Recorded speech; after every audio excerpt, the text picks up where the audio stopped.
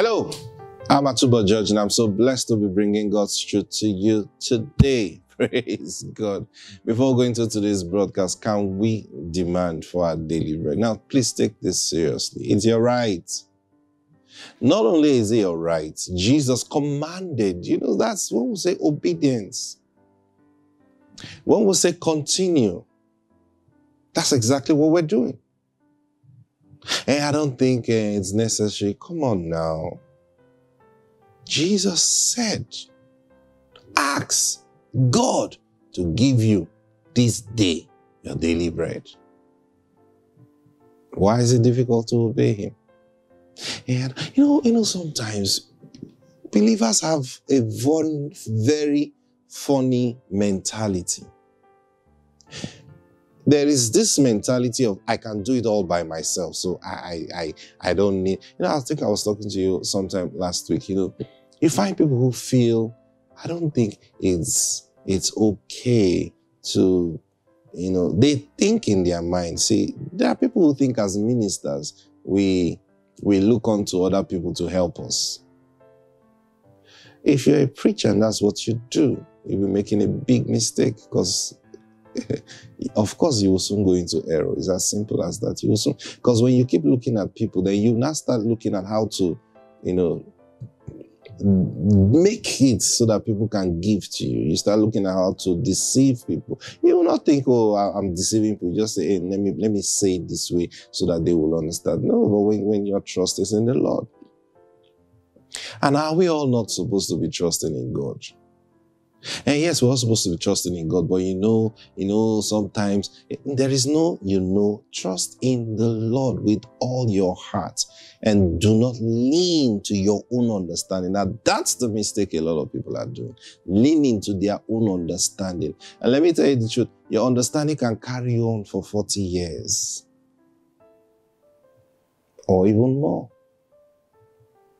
And after 40 years, God will look at you and say, You will not enter into my rest. It is not the movement that matters. It's not what you are doing that matters. It's, it's if you're going to enter into the rest. This, the, the. It's not even the miracles you experience along the way, brothers and sisters. The children of Israel, I, I'm going into teaching already. Praise God. Can we just pause and call for that daily bread? So we'll just run immediately. Say, Father, I demand from you right now my daily bread, and it's coming to me. In Jesus' name, amen. Praise God. Thank you, Lord Jesus. You know, you know, the, the more you you study the scriptures, the more you see certain things about God that you can only help but question. I mean, you cannot help but question. See? So, the, the, the, the folks that left Egypt, they left Egypt by the mighty hand of God. God saved them. He delivered them from Pharaoh, delivered them from the hands of the Egyptians. He led them to the Red Sea. Okay? He parted the Red Sea. They crossed on dry ground. No one drowned, no record of anyone drowning. See, the Egyptians came after them and drowned. They needed water. They got water from the rock. They were fed with manna. They saw God deal with their enemies. They saw miracles. One time they said, We want meat. God gave them meat. For 40 years, God was showing up in these people's life every day. You don't tell me that kind of person is not in God's will. I get what I'm saying. Yet, after 40 years, God shook his head and said, These people are so stubborn, they cannot enter into my rest. What? And, and, and God sealed it, said, No way, they won't enter into my rest. And they didn't. They entered into the promise, and that, that's the mistake people make. People think um, maybe that's not what God meant because they still entered into the promised land. The promised land was not the rest. They were supposed to find rest in the promised land. Understand? They were supposed to find the rest in the promised land. Ah, You see, no, there, there are things I'll just say as a, I mean, just say as a passing statement, but to throw you off balance. You know, but then, like we read yesterday, Jesus said, if you would do, anyone who will do his will, he will know the doctrine that it's of God. Now, what does that mean? If you're doing the truth, the Holy Spirit, who's the one who administers the truth, will teach you the doctrine. Now, so I said, these folks don't just judge yourself that you are right because of what you are doing. You've got to be careful to know what is his mind. You know, I was talking to some of my leaders a few you know, last week, yeah, and I like, picture this. When David went to carry the Ark of the Covenant, okay, and he got the best carts, he got the best horses, and got the best soldiers. These men carried the ark from the ground or wherever it was and put on that cart. Nobody died. Okay. And they transported this ark on that cart, and some soldiers were sitting by it and just making sure everything is fine. And then they got to this threshing floor that the ark, the cart shook and the ark was about to fall.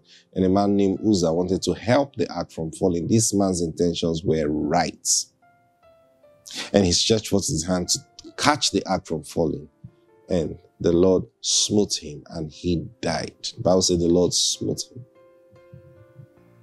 Okay. And then you wonder, what, what kind of thing is that? And he died. Now, when David got the news, because of course, when that happens, everybody stop. and David got the news, said, Don't bring the ark this way, take it somewhere. So some these men had to still drive that ark, and the next man sitting there didn't die. They got they drove that ark to a, man, a house, the house of a man named Obededom. They carried that ark and dropped it in his house. See, nobody died. And the ark was there, and this man began to prosper. The ark was in the wrong place because the ark was not supposed to be in his house. The ark was in the wrong place, yet the man was prospering. This same ark killed another man. This same ark was carried by the Philistines. Think about it. So you now wonder, okay, so what was it about Uzzah that he had to die by the anger of God? The fact that something is okay with one person doesn't mean it's okay with you. You yourself have to know what is the mind of God. Eventually, because David went to, you know, find out from the Lord, okay, what did I do wrong? And then in their search, they found out that God had already prescribed how the ark should be carried. So David said, oh, now we know. So they went to do the right thing, got the priest, and they went to carry the ark on, on, on their shoulders and, and all that. And that's how they finally brought the ark to its resting place. But you see, a man got blessed in the process. As long as the ark was in his house. The same ark that killed another man that was trying to save it. Now, the children of Israel walked with God 40 years in that wilderness, seeing the miracles of God for 40 years, yet God was displeased with them. So the things we rejoice about may just not be the things that get gets God excited. See, doing miracles is sweet. Every preacher wants to, I mean, you just love to you know, let the supernatural flow around you. It's, it's beautiful, it's sweet. But that's not the proof of God's backing in your life. That's not the proof of God being pleased with you. It's something you have to learn the hard way. And I pray you don't learn it the hard way. I pray you learn and just begin to align your ears to the Lord. Because, because from what, what I know about the Lord, if your heart is sincere towards Him, if you want, if your heart, the priority of your heart is to do His will, then you'll find out that the Lord is always correcting you. I've seen several corrections from the Lord. I'm telling you the truth. Things I thought were sweet, beautiful. He just show up and said, eh, Oga, it's not me. Oh. I didn't do that. Or don't ever do that again. Like, but, but, see, now, like I said, Jesus said, if you continue, you will know the truth. And then he said in, in chapter 7, verse 17, if you will do his will, you will understand the doctrine. Now, how does that work? Now, continuing means doing, okay? Continuing means obeying. Because you cannot continue with Jesus if you don't hear his voice. No, you cannot continue. You cannot know the will of God if you don't know the voice of God. There is no way you're going to know the will of God. And two, you can three, you cannot know the truth if you don't hear the voice of God. Because the only person that can teach you truth is the Holy Spirit. And and now that's the same one called the Spirit of Christ. And he doesn't just come and teach you the truth. You've got to be a doer first. It is in your doing that you will now begin to understand. Because while you're doing it, he'll be correcting if you go wrong. Say now, he said if you hear if you if you, if you go the wrong way, you hear a voice, man. He says, Stop, this is the way walking it. Now you hear that voice, stop, don't go that way, go in this way. Like, oh, why? Why why didn't I go that way? And Lord, what, was wrong about that way? I thought that was the right way. Then he shows up and begins to reveal his truths to you. Now, the moment he reveals his truth to you, you remember what John told us in First John chapter, chapter 2, and I think verse 27 or 28. He says, The spirit that is in you, he's your teacher. And as he has taught you, you should abide in it. Okay? Now, when when when you obey the instructions he gives to you every child of god must have a personal walk with the holy spirit. Like i said yesterday sometimes we start from the general walk so we do the things we all do. But you see as we're doing those things now that's where you begin from. Going to church going to the gathering of believers. Now those are those are important things you do. But then in doing that don't just get carried away with the crowd Make sure in the midst of all that you are following Jesus. So anywhere you sit, now this is how you will never go astray. This is how you will never be led in error. This, this is just how you. I remember my my my my dad, my biological father. He he taught me this many years ago, and somehow it just stuck in my heart you know, then he, he had called me and, and, and sat me down and said, Look, sit down. I want to teach you something. And so I sat down. An old man wants to talk to you, so you better listen. Praise God. And he's a godly man. So he said, when you follow a preacher, when you follow a minister that you believe in, he said, this is how you follow him. And he made this uh, this sign in his hand. Okay, he said, Now this is the preacher, and this is you. And while you're looking at the preacher, remember that this is not the person you're supposed to be looking to. There's someone behind him using him. So try in all, by all means, while you're looking at this man, to see the one that is behind him. So whatever he says, you're trying to imagine the one who gave him the command to say what he's saying. And he said, This is the wisdom in it. If for any reason this preacher you're looking at falls, what happens to you? You get a clearer view of the one you've been trying to see. But if your eyes stop with this preacher, as the preacher goes down, your eyes are going down and see you go down with him. But then when, when you're looking at the one behind him, as, as he's going down, suddenly you begin to see that, hey, I'm trying to see. Hey, I'm beginning to see. I'm seeing the one behind him. Praise God. And then soon, you won't even know that he's gone down. You continue walking with the one that has been behind him. Now that just, this was many years ago. I was still a teenager then. Praise God. And my dad told me that because he, he saw, okay, you're, you're on fire for the Lord. You're, hey, let me just give you this counsel now. And it stuck in my head since that day.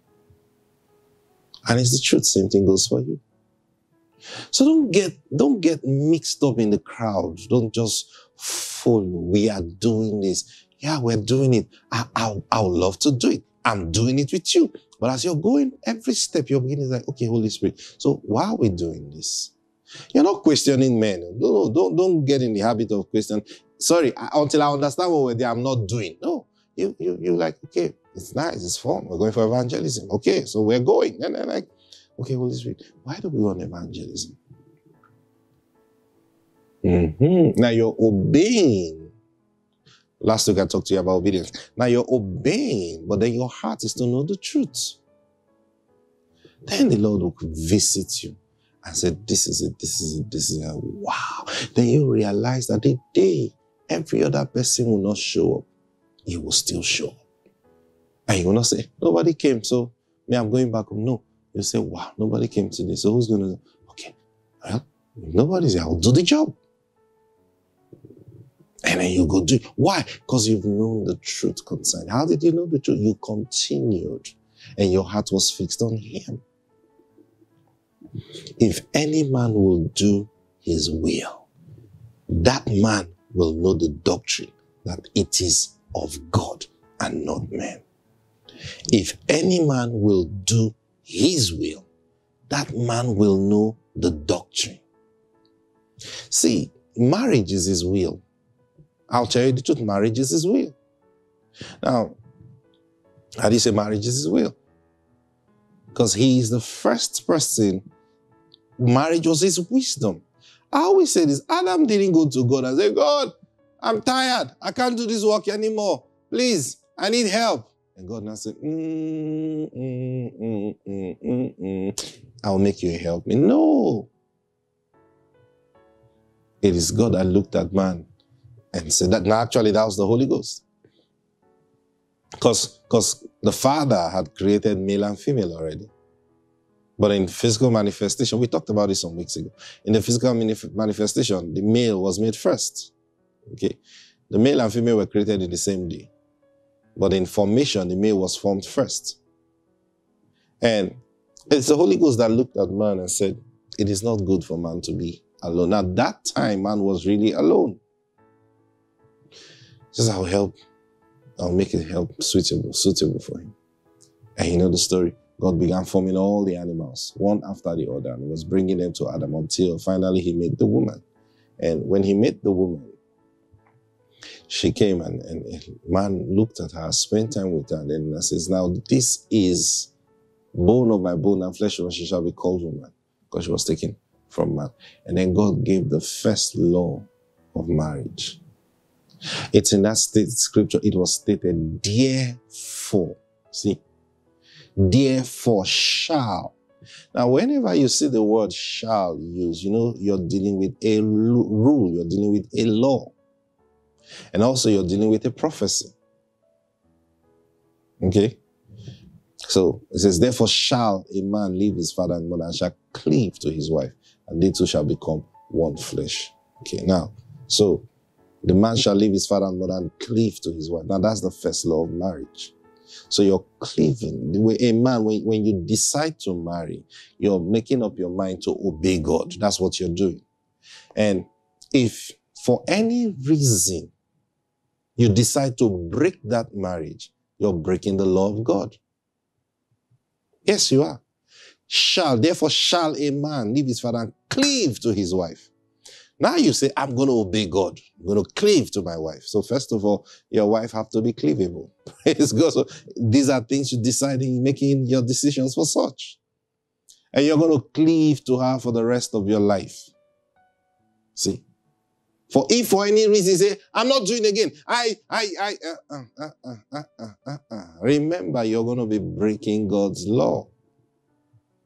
Now you see, that's something that has a command to it. So I am choosing to obey this command. Okay. Now, while I'm obeying the command, will challenges come? Yes, they will come. But when they come, what do I do? Uh-huh. It's time to know the truth. I said, No, I'm not supposed to uncleave. See? I'm not supposed to uncleave. Whatever happens, uncleaving is not an option. So I have to find a way to work out this challenge and still cleave. So that me trying to find a way to work out this challenge, who do I run to? I run to the wisdom behind marriage. That's the Holy Spirit. I run to, I say, Lord, I don't understand my wife anymore. I, I don't quite get. I, she's beginning to irritate me. I don't know what to do. You don't go, Lord, this wife. No, no, no, Lord. Not because you're the one holding forth. And everything in that marriage is trying to pull your hand away. But you know you're supposed to hold. So what do you do? Cry for help. Lord, I am getting irritated. I don't know what's going on. I, I, my wife is not pretty again in my eyes. I don't know what is going on. And then the Lord.